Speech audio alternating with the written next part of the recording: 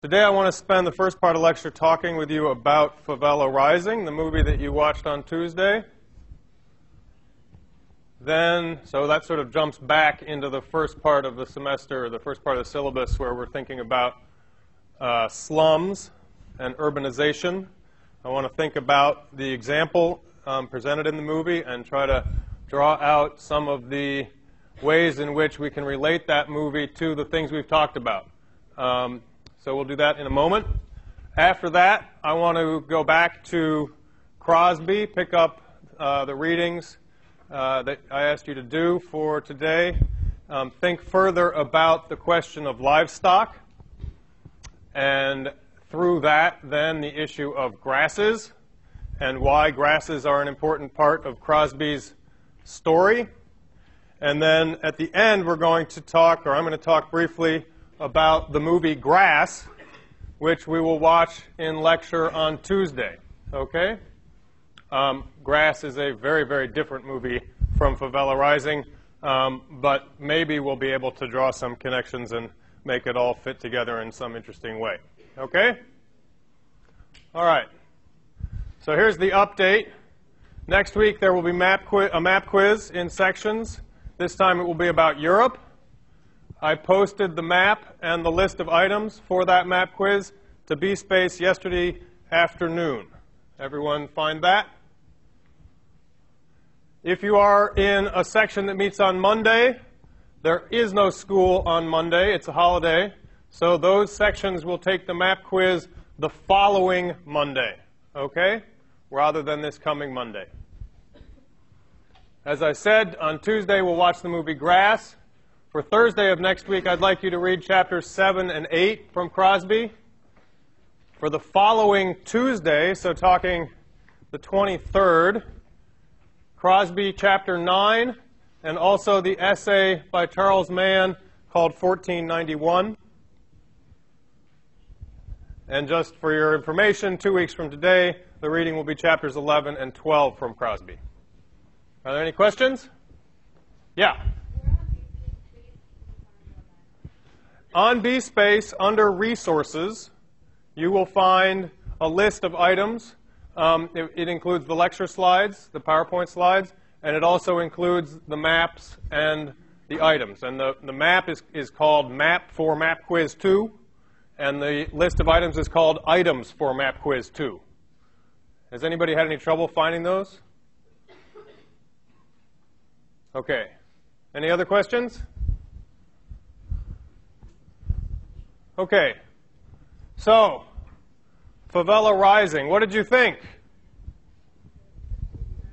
Good? Did you like it? Uh, any just overall reactions? Uplifting? Depressing?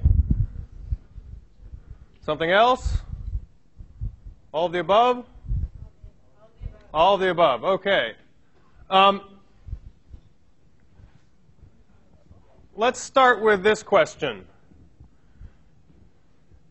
Who can offer a thought about the issue of territory or territoriality in Favela Rising?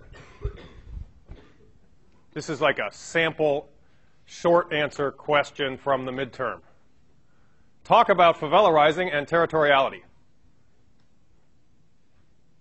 Anyone? Yeah.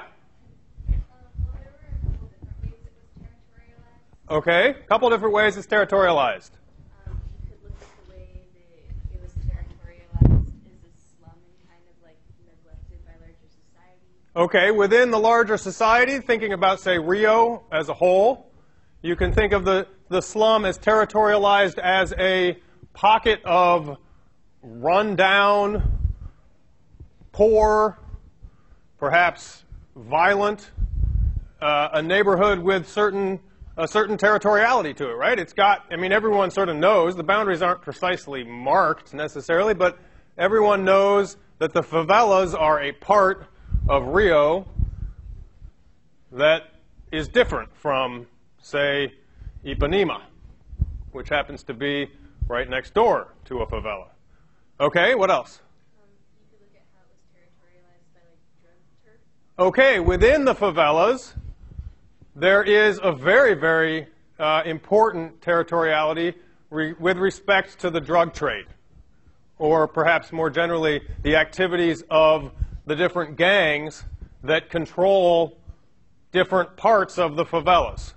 And those boundaries, again, although they are not marked in such a way that an outsider would clearly recognize them, those boundaries are extremely well understood by the people who live within the favelas, right? And that's true not just of the people in the gangs, it's true of everyone. They know when they are moving across or, or up against the edges of the territory of a particular gang. What else? Um, then you could say that that got re-territorialized when the um, Afro reggae came about because like people could kick the drug people out of their stores and they were crossing drug lines and changing the space. Okay, very good. The story of Afro reggae and the music that they played and the activities that they, that they put on or encouraged um, is a very good example of re-territorializing the favelas, right? Which isn't to say that it completely rendered meaningless the boundaries between the gangs, but it asserted a different kind of territoriality and it enabled certain things to happen that otherwise weren't happening, right? It enabled people to move across those lines or um, contest those lines in different ways, right? And again, this isn't just true of the people directly involved with it. This is also true of the, the, the shopkeeper, the woman with the restaurant, who suddenly feels emboldened to what? Prevent or, or enforce different kinds of rules about who is going to sit in her restaurant and that is related in some way to the activities of Afro reggae. Any other thoughts about territoriality in favela rising? Everyone's just going to use those answers? All right, I guess we won't ask that question. What about um, what about the police? What's the territoriality that the police represent or enforce? What about violence? Yeah. Um, it was like a total mili- military police regime put on, and there wasn't really rule of law that existed within that particular zip code, and they just did whatever they want and killed innocent people without any sort of like legal ramifications. They weren't punished. Okay. You've got a bunch of uh, difficult, seemingly contradictory things going on, right? On the one hand, the police, in theory, represent the government, right? The established official government. And we can, I mean, there's, there's the government at the level of the city of Rio de Janeiro, there's the government of the state of Rio de Janeiro, there's also the federal government of Brazil. The police may represent one or multiple of those levels of government, but in any event, they are, in theory again, representatives of the state, the government. And the idea is that they are um, there as enforcers of law, and they are there to enforce the territorial sovereignty of the state, right? Now, all of that is very nice in theory, and we're accustomed, I think, to seeing that type of thing play out in practice more or less in our own society. But here we're dealing with a space in which, first of all, it's not at all clear that the rule of law applies in the favelas very effectively to begin with, right? It's not at all clear that you can count on any kind of official government enforcement, keeping of the peace within the favelas. There's a great deal of crime, there's a great deal of violence going on. To make things worse, what we learn in the movie is that it's not exactly clear that the police themselves are, in fact, obeying the law or enforcing the law. They may roll into the favelas in a great big crackdown operation and be perceived from some vantage points as, you know, imposing order, sort of cracking down on that lawlessness, that space where the, the, the, the state is not sufficiently active or effective. But in actual practice, it's, it's not necessarily from another vantage point, from the vantage point of people who live within the favelas, it's pretty clear that that's not necessarily the case, right? The police themselves may well be very much caught up in the illegal activities going on. They may themselves be corrupt or breaking the law. And you get this battle, which you can think of as a battle between competing territorial claims or regimes, but it's not it's not as simple as sort of the forces of law and order on the one side and the forces of criminality on the other. It's also not clear that the police even really understand the territoriality as seen from the position of the people who live there. Right? I mean, they, they probably struggle to understand exactly what the shifting boundaries are between the different gangs and their territories, right? And they may swoop in thinking that it's all one big lawless, chaotic mess and they should just, you know, exert force. But meanwhile, there are all kinds of things going on within those different neighborhoods that complicate their efforts, right? So, what about violence? You've got it on both sides, right? What's it doing? Is the violence of the police effective in squelching the lawless violence or the unauthorized violence going on? Yeah. It almost has the opposite effect.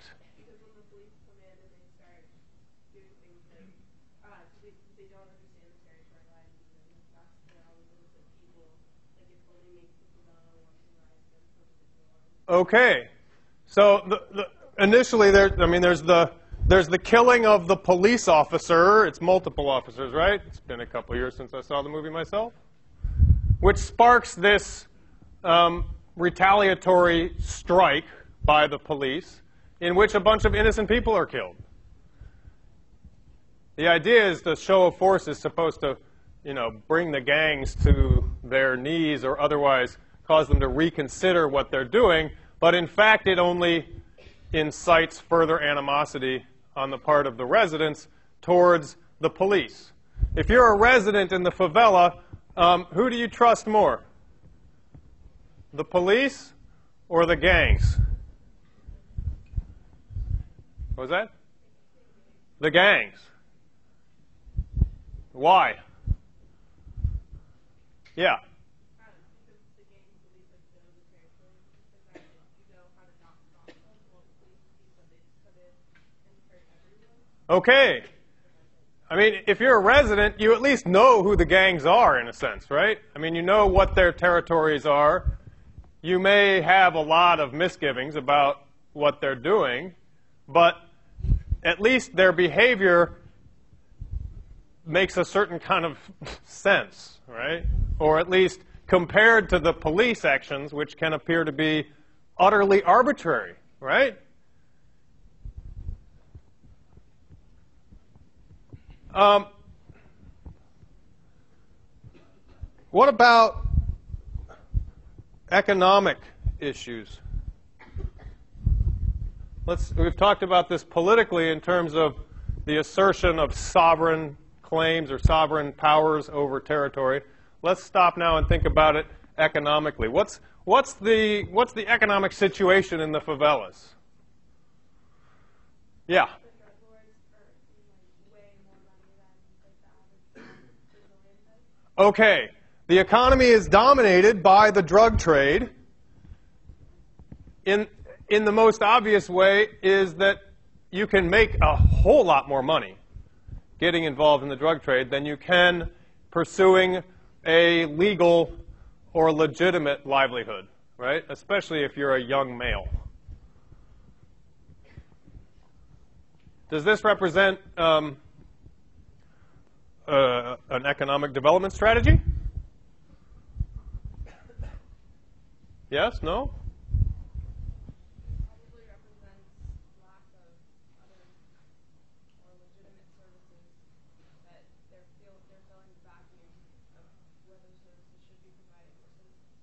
Okay. Uh, as much as anything else, it looks like it's successful for lack of alternatives, right? It's extremely attractive if you are, particularly if you're a young male and you can't find another job, to get involved in, in the drug trade because the wages are high, certainly, but what else are you supposed to do? The options are not very, the other options are not terribly attractive. Uh, where's this money coming from? Who are the customers for the drug trade? Are they the local people in the favela? No, not predominantly.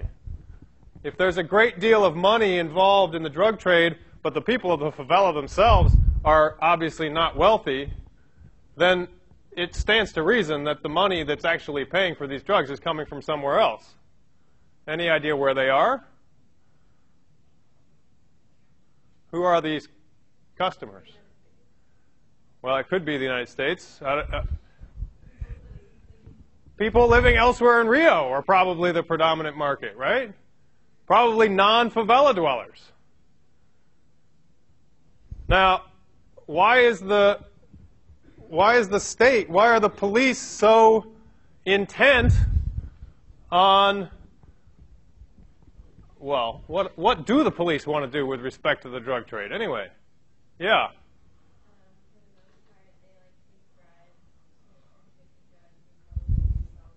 Okay. The police, in theory, are intent on cracking down and eliminating the drug trade, but in practice, it looks as though at least a significant number of them are, in fact, more interested in getting a part of the action. Why is that?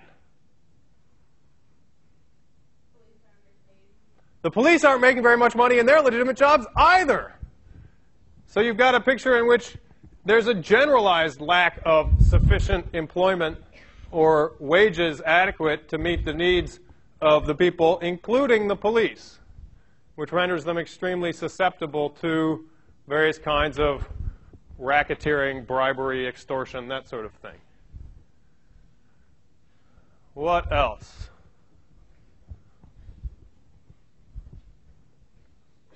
Yeah.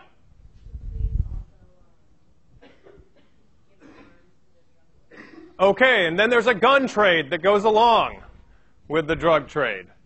You might see it as a subsidiary or a, uh, another branch of the economy. Is the is the economics of guns and weapons, ammunition, and here again, the police, uh, in theory, they are the ones who have the right to go in and use guns, and the gangs are the people who don't. But in practice, the economics of the situation make it such that the police can, in fact, become uh, part of those circuits of exchanging guns. They can become a source of the guns that then end up helping to uh, militarize the drug trade and the favelas in general. Um, all right, so this all starts to look extraordinarily depressing, doesn't it? Um, what about music? Yeah?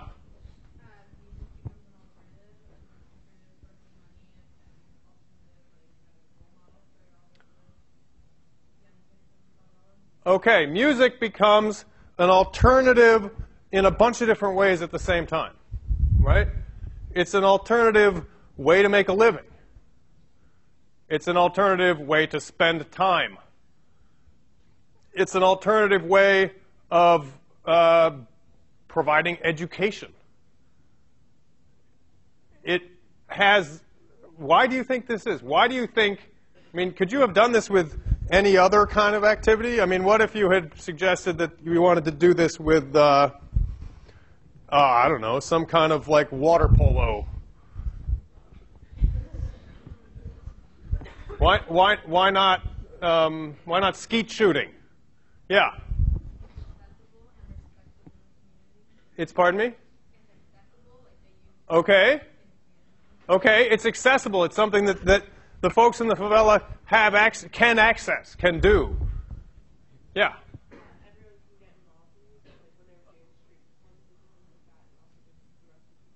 Okay, it's extremely open in its um, in its participation, or it it, it, it, it, it can be an activity shared among a kind of unlimited number of people. Yeah. It's a great way of expressing things, expressing ideas, expressing feelings.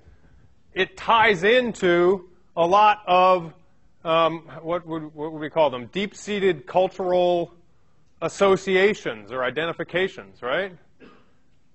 What, what, what kind of music is this? Afro reggae. Where does it come from? Anybody know? Yeah.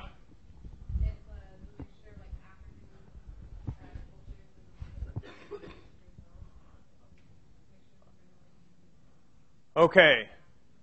It, it mixes, in this case, um, African rhythms, which have come. I mean, how have they ended up in Brazil? Well, the slave trade. So you've you you have, and this we'll talk more about this later in the semester. Believe it or not, the movement of uh, certain kinds of cultural or musical forms and rhythms and instruments, and the ways in which they traveled to the New World with the slaves, and in many ways uh, later traveled back again. In any case, the movement, I mean, reggae we identify with Jamaica, but it's extremely popular and prevalent around the world at this point. Um, they, they, there's a, a, way of tapping into um, musical tastes that the folks in the favela obviously share, have, um, but may or may not have a sort of conscious sense of um, why they have them. I mean, how do you get a taste in music? Um, uh, what, what other examples of this kind of mixture of African and Brazilian cultural forms come, comes up in the movie? Yeah. Pardon? Say again? Dancing is part of this as well. There's a, a, very important component of it having to do with dancing. Yeah. Capoeira. Everyone know what capoeira is? Talk about capoeira and its role in the movie for me.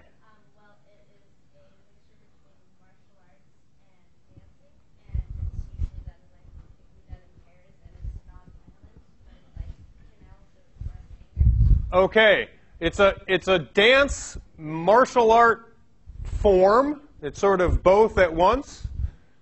It uh, can be a way of fighting, but it's also can be just a form of dance. You have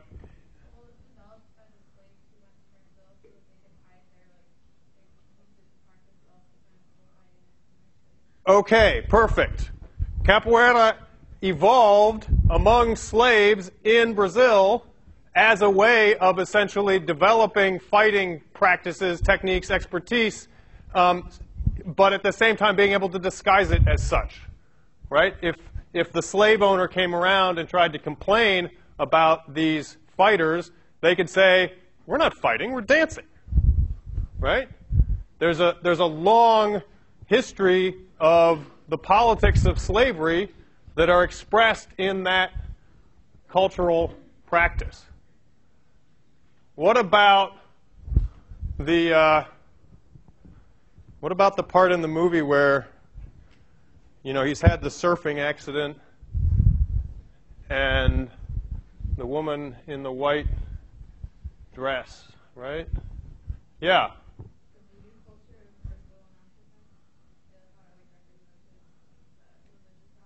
Okay. Yeah.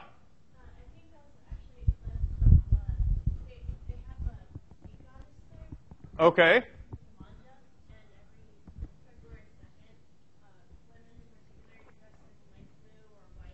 Okay. They have a sea goddess there. I like that. It's like, fancy that. Uh, they have a sea goddess. No, I mean, yes, she, she and it's not voodoo. Anybody know more about the history of that sea goddess? It's African. What part of Africa? Anybody know? She is an Orisha. And Orishas are uh, goddesses or godlike uh, entities from uh, African religion that traces back to Nigeria. And here again, we see this interesting mixture of um, old world cultural practices and you know, sort of as they have evolved and changed in a new world setting. She's the goddess of the sea, and therefore it's appropriate that she would have some kind of what power to intervene in this surfing accident, this situation. Uh, what have I forgotten? What have I not gotten to yet in this movie? Any other reactions, things you'd like to bring up?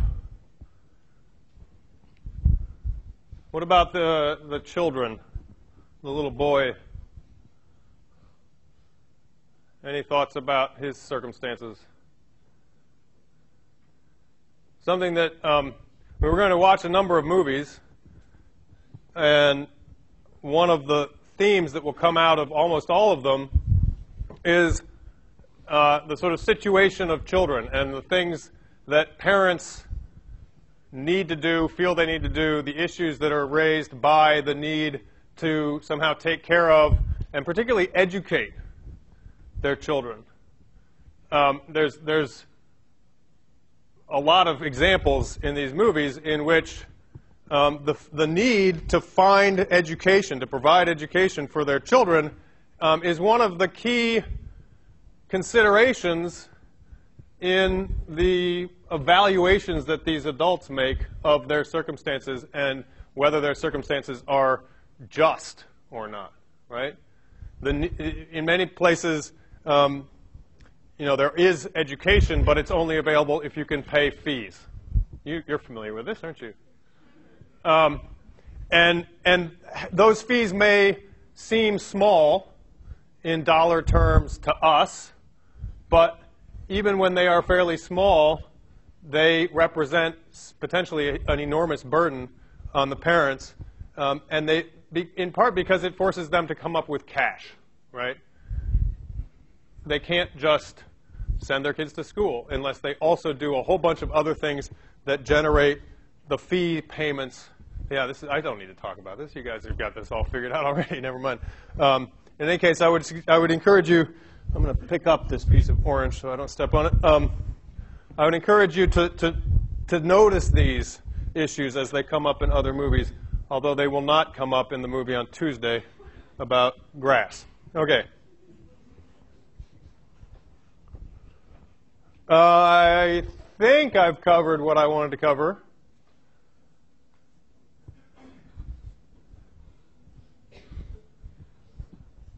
No other questions? Have I left something out? Anything that you thought about when you were watching this movie? You thought, wow, that we haven't discussed at all? No? Okay. Let's move on. Or should we take our break now, since we're sort of a logical stopping point? Why, why don't we try having our break now? It's a little early, but five minutes? Okay.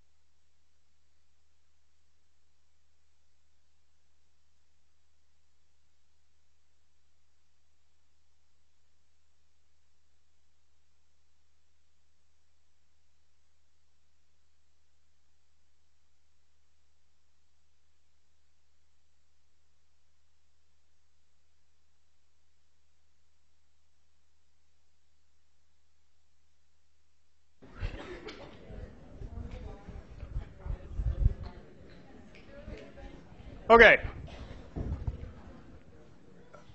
Um, whoops. Um, all right, during the break, I had a brief conversation with the GSIs, and I thought of a couple other things I wanted to bring out about the movie before we move on. So, if it's all right, a couple of things. Um, another level of this question of, of territoriality, um, which uh, I didn't bring up earlier, and that is uh, we talked sort of we talked about the territoriality within the favelas, which is a sort of small scale, you know, the turf lines between the gangs. We talked about the territoriality at the scale of the city as a whole, in which the favelas are contrasted with the more developed or whatever you want to call them, affluent parts of Rio. Um, we didn't talk so much about the favelas and their territoriality with respect to an even larger scale of um, essentially the international world of um, philanthropies, nonprofits, um, community development uh, foundations, that kind of thing. I mean, Afro reggae takes off and begins to attract attention not just within the favelas, not just within Rio, but actually internationally. And part of its ability to grow and and flourish is that it's able to establish these connections um, that are actually international and attract uh, support at that scale, right? And one of the messages that the favela, I'm sorry, yeah, go ahead. One, one of the messages that Afro Reggae is, is concerned to communicate to the world is precisely that the favelas are not just these sort of cesspools of violence and drugs and guns, right? That they, in fact, are very human places where very innocent, hardworking, uh, virtuous people are trying very hard to make a go at things against extremely long odds, right?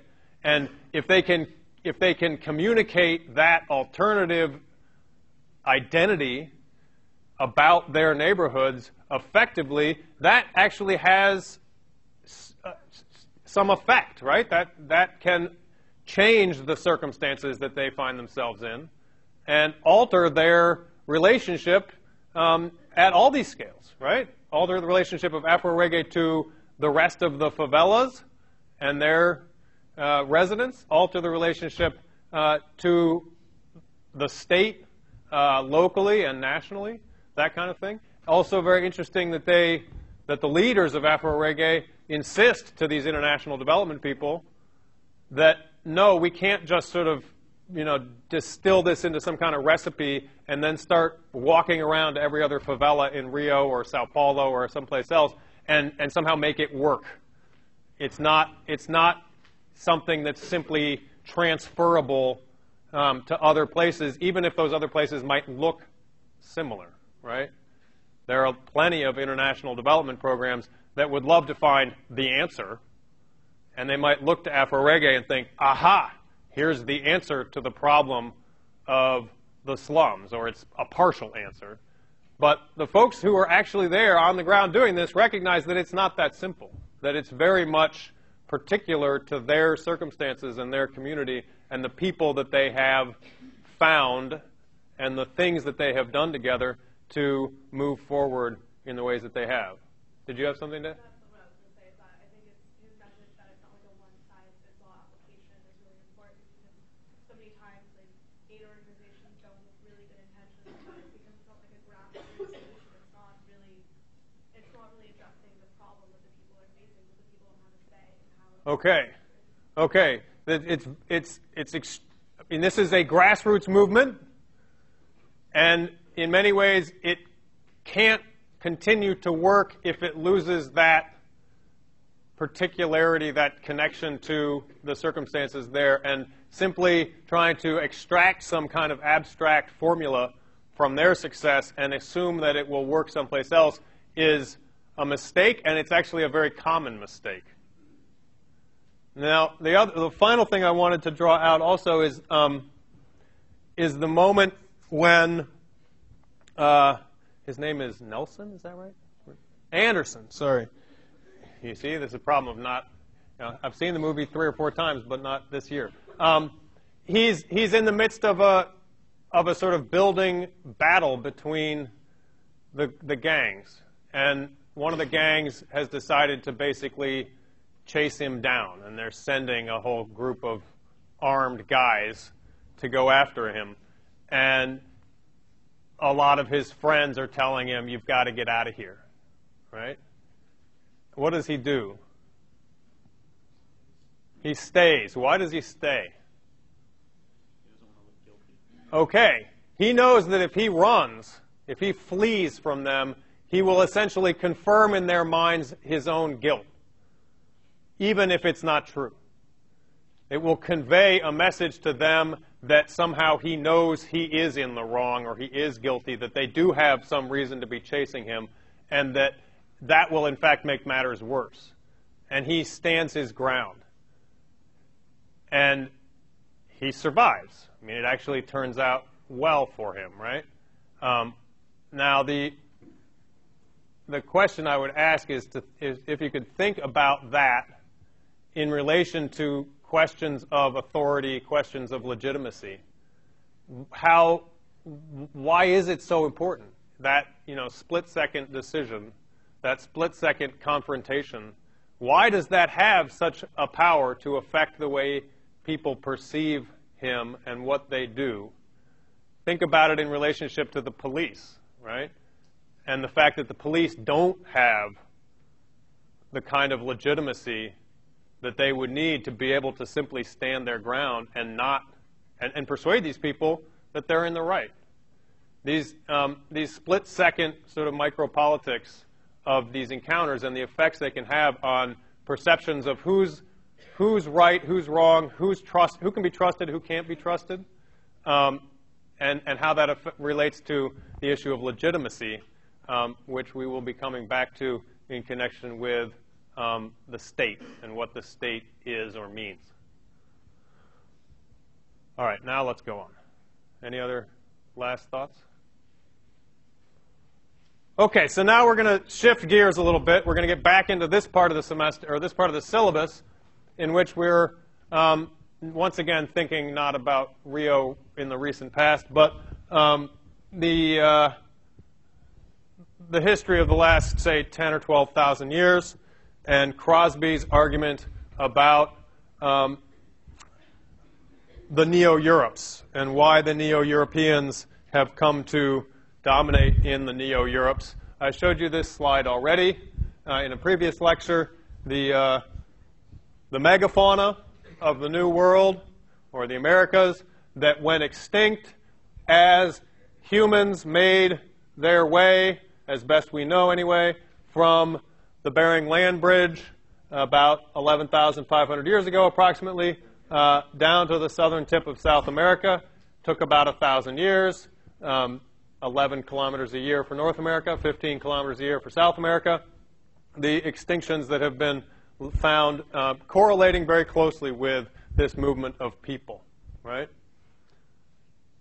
And he says that the, the humans were shock troops for the Neo Europeans. I've already covered this a little bit. I want to make sure that it uh, makes sense, and then I want to extend this a little bit.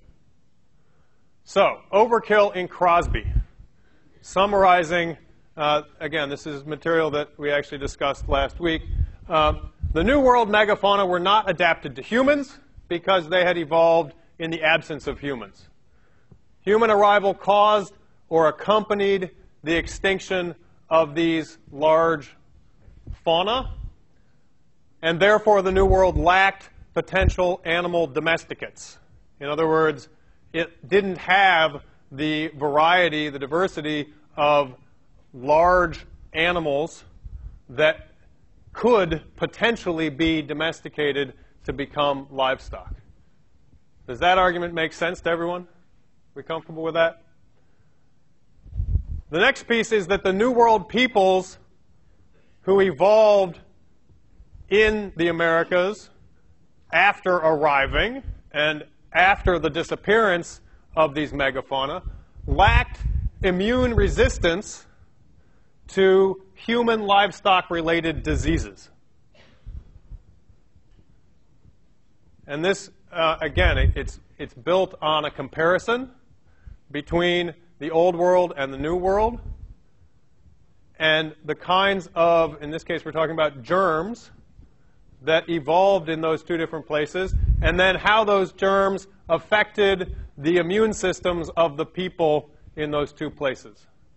And we're building up to an understanding of why so many native peoples in the Americas died of diseases upon contact with the germs that Europeans brought to the New World with them. Okay?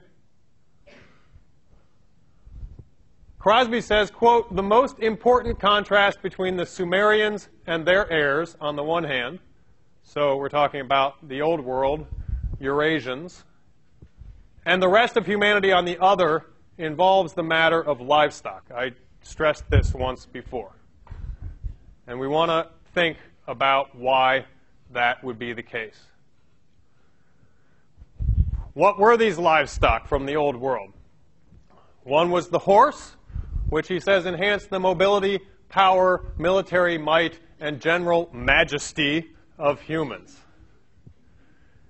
And it's, it's true if you read the accounts of the first contact between the Spaniards and, say, the Incas, or the Spaniards and the Mayans, the folks in Mexico, the folks in Peru.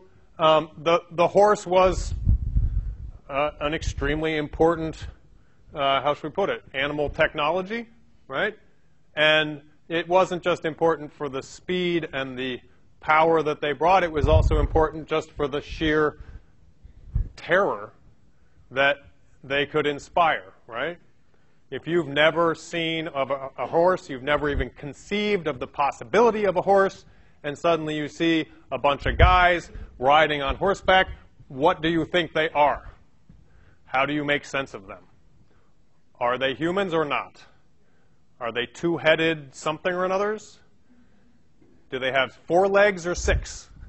What's going on? They're absolutely astonishing, right? We also have pigs and lambs and cows to consider, which provided for themselves while waiting to be called on to provide for their masters. What is, what is this about? Any, yeah. Okay. Remarkable thing about these animals. They're way better than tractors, right? They actually feed themselves. They can feed themselves without you necessarily having to do much of anything to provide that food. You know, obviously, that depends on the circumstances, where you are. But in many ways, the beauty of these animals is first that they can feed themselves. They can eat whatever they find growing or perhaps discarded. Secondly, they also um, reproduce themselves, right? You, no one's come up with a tractor that can do that yet, right? that can have its own babies that can grow up to replace the parents. It's pretty cool the way animals can do that, right? Um, livestock, depending on where you are and the type of animal and the practices associated with it, can provide blood, milk, and meat for food. There are places in the world still today where livestock blood is an important source of protein, nutrients for humans. Um, leather and wool for shelter and clothing. Manure for crop fields or for fuel. Again, this is um, a remarkable thing about animals. Even their waste is valuable or can be valuable to humans. You can cycle it back through your other systems, whether it's to fertilize crops or whether it's to burn for heat and energy to cook food or keep yourself warm. And traction for plowing. You can put plows on these, on some of these animals, and they will enable you to grow significantly more food because they can um, till the soil, right? Pull the tools that till the soil. And you can see the you can see all the feedback loops that this makes possible in terms of the more food you grow, the more animals you can feed if you are feeding them the food that you grow right? The more animals you can feed, the more manure you have. The more manure you have, the more fertile your fields can be, and the more food you can grow. That kind of thing. These, these, this begins to give you a, a sense of why livestock were so important from a simple production point of view from the old world, in the old world. The kinds of surpluses that these animals would make possible in the old world. And there simply weren't analogous animals available to the peoples of the Americas, right? We talked about this before. There were turkeys. Turkey manure can be important fertilizer, but you can't plow a field with a turkey.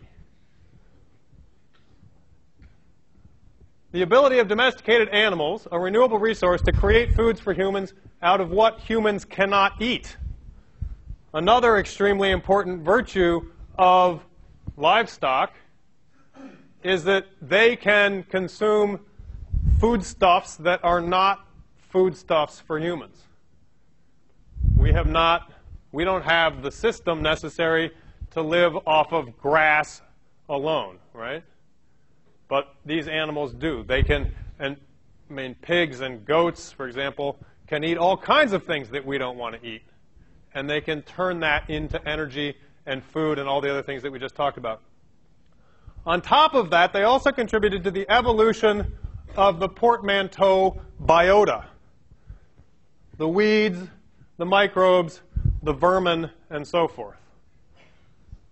Now, this may seem a little bit harder to make sense of than the things we just talked about, right? I mean, the other stuff is pretty obvious. These animals are food, these animals create manure, these animals pull plows, that kind of thing. But this stuff is, is a little more indirect or a little bit harder to, um, or less obvious, right? Why should livestock contribute to weeds? The evolution of weeds. Yeah. Okay, they have a selective impact on vegetation, right? They will eat certain plants in preference to others. Different animals will eat different suites of plants, but if you put a cow in a pasture, it will go around and find the plants it wants to eat the most and eat those, and other plants it will totally ignore. There are plants it will totally ignore no matter what. There are other plants it will ignore until it runs out of the plants it likes more. And then it will start eating them. And so on and so forth, right through the line. Um, similarly, everything an animal does to contribute to crop agriculture creates or encourages the circumstances, the conditions in which um, humans are plowing the soil, planting certain certain plants. They want those plants to grow. They don't want the other plants to grow. But that plowing opens up niches. It disturbs the soil and creates opportunities for other kinds of plants to grow. And those plants eventually, over time, evolve such that that is their niche. Their niche is to grow in disturbed soil. Livestock can disturb soil, soil and open up those niches. Plows do it on a vastly more intense scale. And weeds are, in many ways, um, what we think of as weeds, are the result over many, many thousands of years of evolution of those plants in those conditions, in those circumstances, which is also to say that those types of evolutionary processes were not happening in the New World in the absence of these animals. And when the animals arrive with the humans, and enable these practices or cause these disturbances, the niche comes with them, and so do the weeds. And the weeds come not because people did it on purpose, right? Weeds are extremely adept. They have evolved precisely to create seeds that get moved inadvertently by other by animals, by humans, by wind.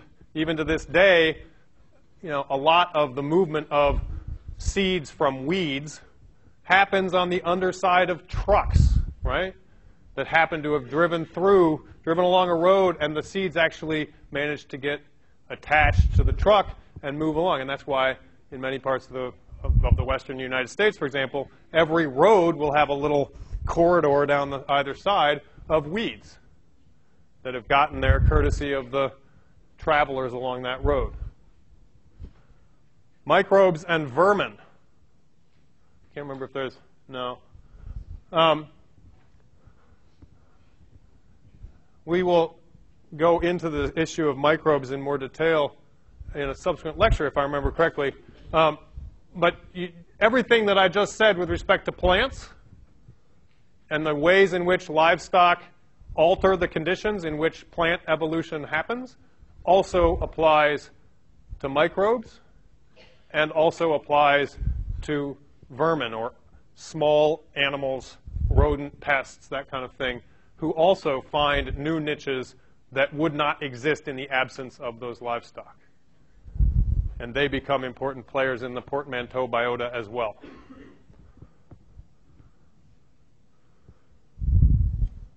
So, how do we think about human livestock interactions? There are a bunch of different ways we can think about this conceptually. We can think about it hierarchically. We can say, ah, the humans are in charge. They're, they're the ones on top. The animals are simply servants, subordinate to the humans. We can think about it instrumentally. The livestock are just tools. They, they allow humans to do things that they wouldn't otherwise be able to do. They augment human productive output and power. On the other hand, we can think about it symbiotically. Everyone know what symbiotically means? What symbiosis is? Yes? No? You're allowed to say no. That's okay. We're talking about a relationship in which they each benefit from the other. That's what symbiosis is, is a relationship in which they in which both players, both parties to that relationship benefit. They depend on each other, but they also gain from each other. And then finally, ecologically, human and humans and livestock act as an evolutionary team or unit or force. They act on each other and on their surrounding environments. And that, the, that is perhaps the way we've been talking about it most here, but all of these are potential ways of conceptualizing this relationship. Now I want to switch to grasses. And if we think that humans and livestock have got a symbiotic relationship, we can also say that livestock and grasses have a symbiotic relationship, or perhaps it's more, more accurately put as a coevolutionary relationship. Grasses have a 40 million year long evolutionary history. That makes them significantly older, so to speak, than the livestock that we're talking about. Most of the, uh, the fauna that we're concerned with here. They, grasses have been around for an extraordinarily long time. They are adapted to disturbance from herbivores, drought, and fire. We talked about disturbance regimes, right? The grasses have essentially evolved um, in circumstances in which if they could not survive being eaten by an herbivore, they would not persist. And by herbivore here, I mean a lot more than just livestock. Horses and cows are herbivores, but so are grasshoppers and termites and basically anything that consumes them uh, consumes these plants is an herbivore. Drought, the sort of the, the, the native home of a lot of grasses, um, are climates in which drought is a regular occurrence.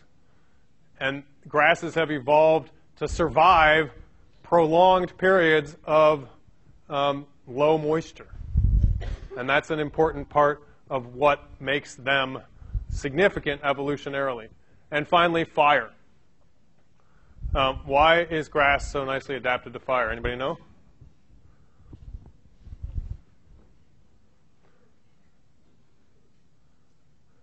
Yeah.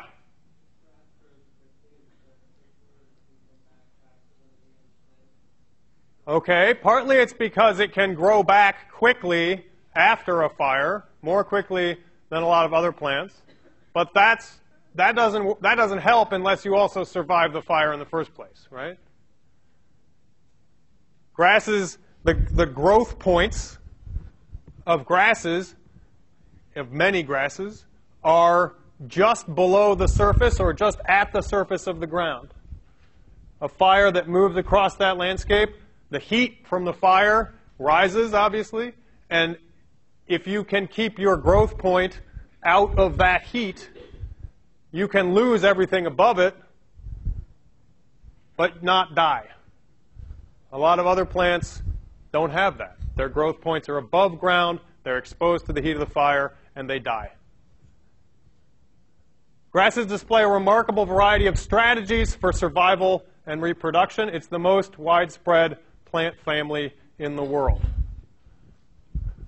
Here we get a sense of the, both the variety and the sort of special features of grasses. I've told you already I really like grasses. I apologize if you find that weird or uh, you know you don't care about it. I'll do what I can to persuade you that it matters, but maybe I'll fail. I don't know. Um, you begin to see here, uh, you know, there's the happy Hereford cows um, on the nice green grass. Um, that's obviously uh, a landscape that gets a fair amount of moisture, but notice that um, grasses are growing in all positions on that landscape, right? Different kinds of grasses. The grasses in the nice green pasture where the Herefords are all hanging out um, are different from the grasses growing on the foothills in the background. Um, the grasses down here like the conditions where there's probably more fertile soil and more moisture.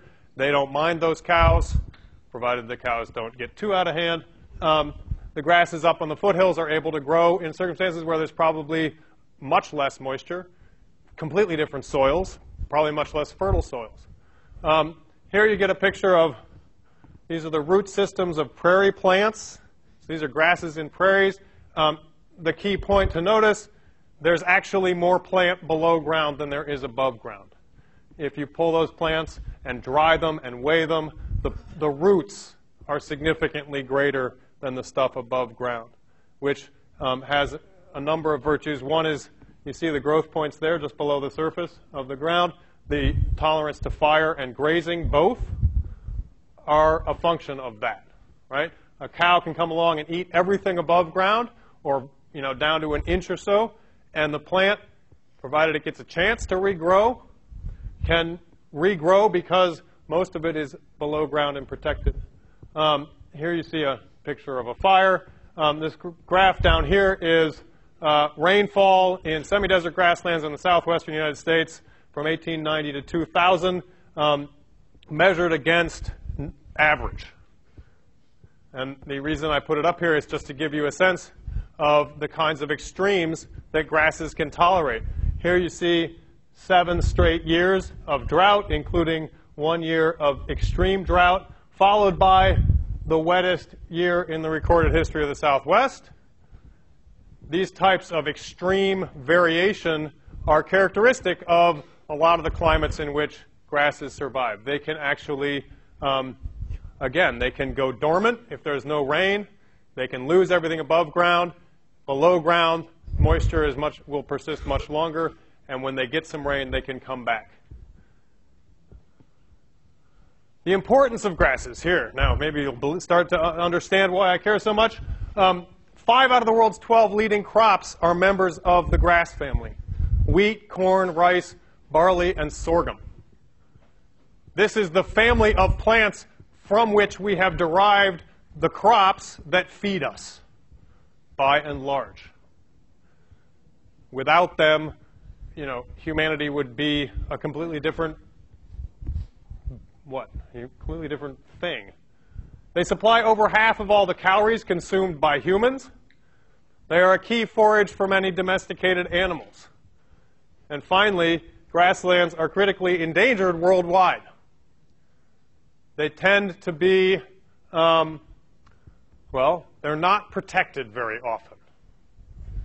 The relative, you know, the respective amount of the world's grasslands that are protected compared to, say, the world's forests is teeny. They also tend to be where people look when they think about putting in more fields, new fields for crops. Um, the map in the upper left here gives you a sense of the extent of grasslands worldwide. Um, you also, this is also intended to give you, again, a sense of the diversity of um, animals, diversity of circumstances in which grasses are either the dominant or a co-dominant part of the vegetation of a given landscape. This is all building up to the movie Grass, okay? Domestication of wheat. So this is this is a key part in the story of um, in Crosby's story. It's also a key part of Diamond's story if you if you care to read Guns, Germs, and Steel. We have to think about how this happened, why it happened, or, or perhaps more importantly, what kinds of features this plant brought to agriculture, features that both enabled its domestication in the first place and continue to have important implications um, for crops and agriculture today. So first of all, it's an annual plant. If it weren't, it would be what? A perennial plant. An annual plant completes its reproductive cycle each year. A perennial plant does not. A perennial plant may um, set seed, reproduce every year, but it doesn't complete its entire cycle every year, right? An annual plant dies every year, and then it's, you know, it, it, it germinates a new uh, generation the following year, and it in turn completes its reproductive cycle. Natural selection favors plants whose seed heads shatter on their own. What does that mean? Where's the, oh, there's, that's a seed head up there in the upper right. Yeah. When it reaches maturity, all the, the seeds will snap off the head and settle around the plant so it can reproduce. Okay, in this case, shatter means those seeds, that's a whole bunch of seeds at the top of a stalk, they fall off on their own. So what? If you're, a, if you're just a grass plant growing on your own, and you know that you've got to, you're going to die, and your seeds have got to somehow reproduce the following year, and you have no nobody else intervening. If your seeds stay there at the top of that stalk, you're going to fail, right? Because those seeds need to get off that stalk and fall to the ground or blow to some other place and get to the soil, or else they can't germinate. So, under circumstances of strictly natural selection, you need to have a seed head that shatters on its own. And whether it's the wind that blows them off, or whether you like sort of self explode and throw them off, or whether they're very, by the end of the growing season, they're very delicately attached so that anybody, any animal that runs past and just bumps the stalk, they'll fall off, that kind of thing. On the other hand, if you're going to domesticate this plant, the seed heads are also the part you want to eat. That's where most of the energy and nutrients in this plant are located. We don't eat the stalks and the leaves of wheat. We eat the seeds. And if you're a human and you want to grow this plant, you want the seeds to stay on the stalk, right? Until you come along and harvest them, until you come along and take them. If your seed heads shatter on their own, you'll go out there to harvest, and they all will have fallen on the ground, and you'll be reduced to picking them up one by one by one out of the dirt, which is it's not worth the effort, right? Clearly. So the puzzle here is sort of, I mean, this, this, on the one hand, this is a puzzle because it's hard to see how any human wandering along through a grassland would have come to the recognition that the seeds are the part that you want to eat, that the seeds are the part that you can then turn around and put in the ground and grow, and that if you start this process, eventually you would end up with a bunch of plants that would hold their seeds on the tops of their stalks, right? Who in the world would have imagined that as, you uh, know, a hunter-gatherer wandering through a field of grass? On the other hand, this is a beautiful illustration of the difference between artificial and natural selection, and in turn, on the meaning of the meaning of domestication itself. Right? Domestication is not just somehow grabbing a wild something and putting it in a field or a, or a corral, right? It's actually altering the reproductive and biological identity of that plant or animal. What this means eventually is that you end up with a grass plant that doesn't shatter, its seed head doesn't shatter, and therefore it must be harvested by humans in order to reproduce. A, a, a, wheat plant, a grass plant that has this new feature that is so attractive to humans for purposes of domestication is a plant that cannot survive without humans and therefore is fully domesticated. It is dependent on humans for its reproduction and persistence. Does that make sense? You're still not persuaded of the importance and beauty of grasses? Maybe? The point that Crosby puts out there, and this is, again, this is, Jared Diamond takes this whole hog and reiterates it, restates the same argument, is that Eurasia had an advantage, so to speak, compared to other parts of the world when it came to grasses, just the way it had an advantage when it came to large animals to domesticate. 32 of the world's 56 prize wild grasses, and prize here in this case refers to the, um, the productivity of the grasses in terms of seed. How much seed does a given grass plant produce? And also in terms of its other features facilitating domestication. 32 of 56 originated in, not just in Eurasia, but in a particular part of Eurasia, the Fertile Crescent and the Mediterranean region. 13 of 14 domesticated mammal species were native to Eurasia. Now, um, yeah, the, the size of seed head is also a big consideration. I don't suppose I need to go into that. A lot of grasses have got such itty bitty, teeny weeny seeds that they would not lend themselves to useful production as a domesticated plant. Um, having nice big seeds is really helpful if you're worried about producing you know, quantities of food. What are the ramifications of this uh, Eurasian advantage? Unequal development of surplus food production is what it comes down to. The productivity of agriculture in Eurasia was much, much higher than in other parts of the world at a given point in time. Okay? It develops earlier and it develops more rapidly in terms of output. This results in an unequal demographic and social development.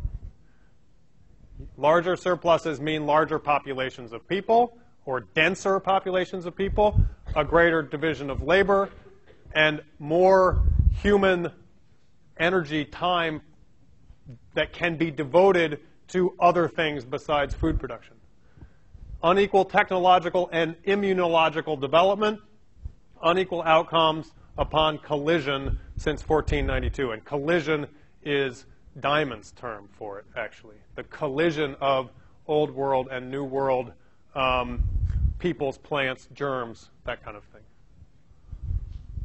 All right, we've got about five or six minutes left. I want to talk about this movie that we're going to watch on Tuesday. It's called Grass, A Nation's Battle for Life. It was made in 1925. It's a silent movie. It's got a very it's got a very exuberant soundtrack of extremely low production value. But it is not it's a silent movie. It's about the Bakhtiari, who are nomadic pastoralists. That means they live from their animals and they move significant distances with their animals every year. They do not have any fixed settlements, cities. It's made by, the movie was made by Merian Cooper, Ernest Schoedsack, and Marguerite Harrison. The movie, the next movie they made was King Kong. And Merian Cooper went on to be one of the fa- most famous early directors in Hollywood. Um, King Kong, The Sands of Iwo Jima, Fort Apache, The Searchers, Chang, A Drama of the Wilderness. Um, so this is, this is one of, it's actually generally considered to be um, the second documentary film ever made. What's a nation? Picking up on this subtitle, A Nation's Battle for Life. What is a nation? It's defined as a community of sentiment or solidarity. It's any group of people who feel some kind of solidarity among themselves as such, as a group, right? This can be based on language, religion, ethnicity, history, livelihood. It can be defined by almost any feature of a given population. All that matters is that somehow they feel this commonality, right? They identify with each other as a people or as a nation. It's generally defined relationally. In other words, it's not just that you all have a certain, say, language or religion in common, it's that you have it in common and other people don't. You are different from other people in some important, identifiable way or set of ways. So when I say nation, I don't want you to immediately think of the United States or Poland, right? Those are nation states. I want you to, to remember the nation, a nation is not the same thing as a nation state. A nation state is that peculiar form in which the nation and the state become the same thing or somehow map onto each other in a nice, convenient way. I want you to think instead of the nation as at least, well, not only potentially, but frequently a separate thing, a different concept and a different reality on the ground. So the Bakhtiari are a nation without a state, essentially.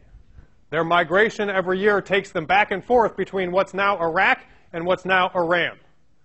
And they consider themselves citizens of neither state. So, what is the state? This is Max Weber's definition. We've encountered Max Weber once, uh, once already when we talked about science. Now we're going to talk about something from politics as a vocation, the companion lecture he gave at about the same time.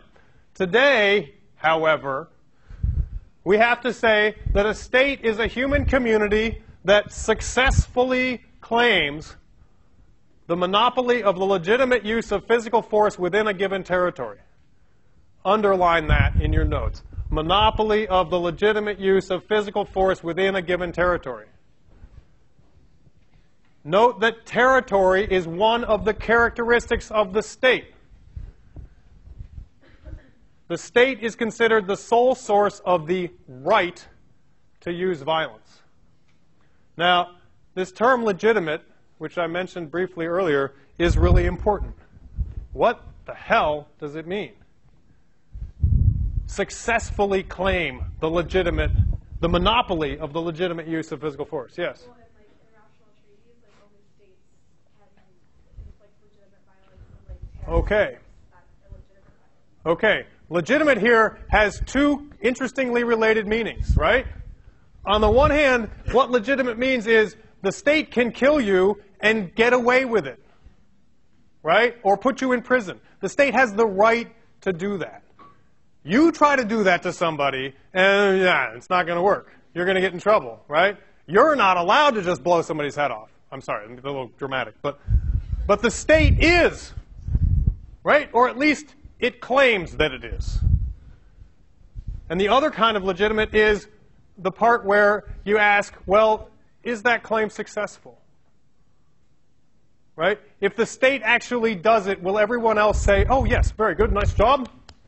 You have enforced the law, you have punished the wrongdoer, and we think you're groovy.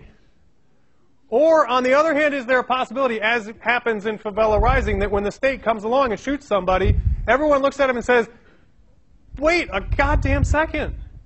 That's not legitimate at all. That was arbitrary. That person was innocent. You're totally you're not being legitimate. And when what Weber is saying here is that if the state claims that monopoly, but doesn't gain the support of the people it's purporting to rule, its legitimacy is in question, right? So it needs to be able to assert this claim successfully. And its claim is not just that it can do it, its claim is also that no one else can do it. The gangs in the favela can't do it. It's a monopoly of the legitimate use of physical force within a given territory. So when we think about a nation state, we have to think about that community of sentiment part, and then we have to think about this legitimacy and monopoly of the use of force on the other part and how they come together. All right, so, oh, darn it. Well, I'll show these at the beginning of class next time. Um, yeah, you've got them in your notes. You can look at them, but I'll run through the